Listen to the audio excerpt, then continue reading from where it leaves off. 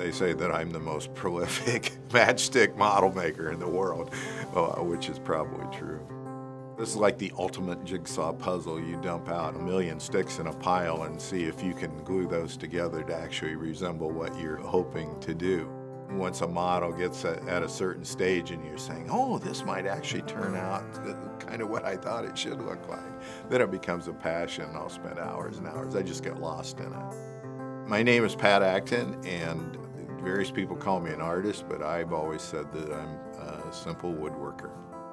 In recent years, the models average about a half a million to a million sticks. The Millennium Falcon has over 900,000 sticks. I actually used a little plastic model just to get the dimensions and some of the detail off of. The model was a foot long and I decided, oh, well, I'll just use the scale off this model, one inch equal one foot. Well, I think I got a little carried away.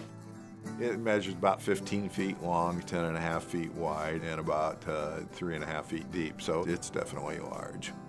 It would appear to be a fire hazard, and when I first started this, I would buy the matchsticks off the store and cut the sulfur tips off. I'd use a utility knife to do that. There's no quick way to do it. You couldn't line them up and saw them or spark the sulfur. So I'd cut these tips off. Well, I was literally working at a little card table in our living room, and some of those would fly out and they'd end up in the carpet. And every once in a while, you'd be running the vacuum sweeper and you'd smell a little puff of smoke, and you, it was literally the sulfur tips.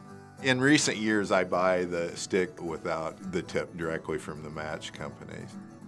Matchsticking, which I use as a verb, is uh, my therapy. You know, I'd come home from work working with people all day, and I'd go down to my little studio and spend hours just uh, doing what I love, where it's quiet and not having to interact.